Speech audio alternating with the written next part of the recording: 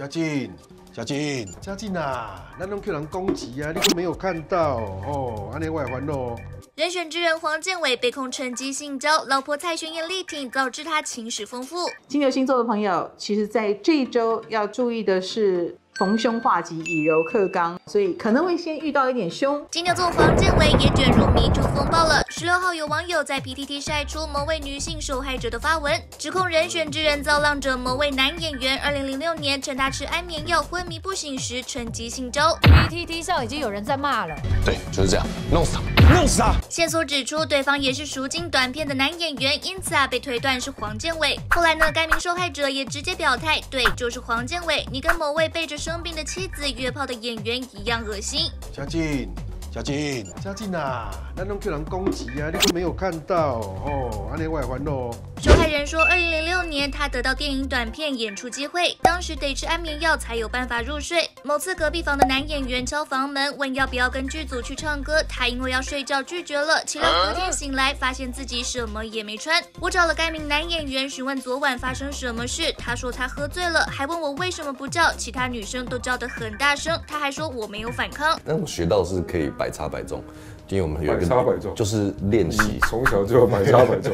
你的事迹我我都听过。那个 玩砸了？原本受害人相信一切只是意外，但多年后喜欢的男生跟他说，他绝对知道你吃了药，因为他不是第一次这样。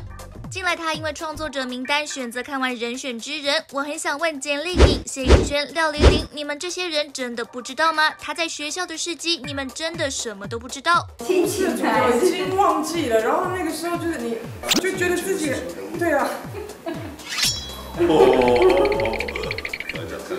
不过黄建伟对此也吹起反攻的号角，他透过经纪人回应，年轻时确实有过很多交往对象，但对于报道中仅二十年前曾经来往的叙述并非事实，本人绝无违法之情事，表示针对不实指控将委由律师进行后续的法律动作。你这样是不是想跟我离婚呢？对啊。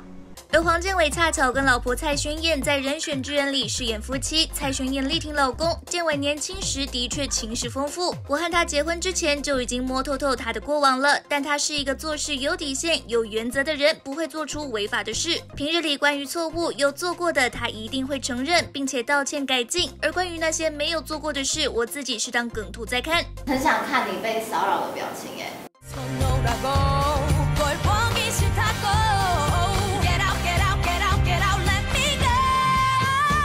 享受的部分是我演奏了。嗨，大家好，我是吴宗宪，是哪个？我是徐乃麟，我是台湾雄狮欧巴桑单碧红，我是蔡康永。Hello，大家好，我是小 S，我们是号角响起。Hello，大家好，我是亚伦。祝福三立新闻网十周年生日快乐！李佳贝祝贺三立新闻网十周年生日快乐！祝三立新闻网十周年生日快乐！恭喜三立新闻网十周年十全十美，生日快乐！在这边要祝三立新闻网十周年生日快乐！祝福三立新闻网十周年生日快乐！祝福三立新闻网十岁生日快乐！祝三立新闻网十周年生日快乐！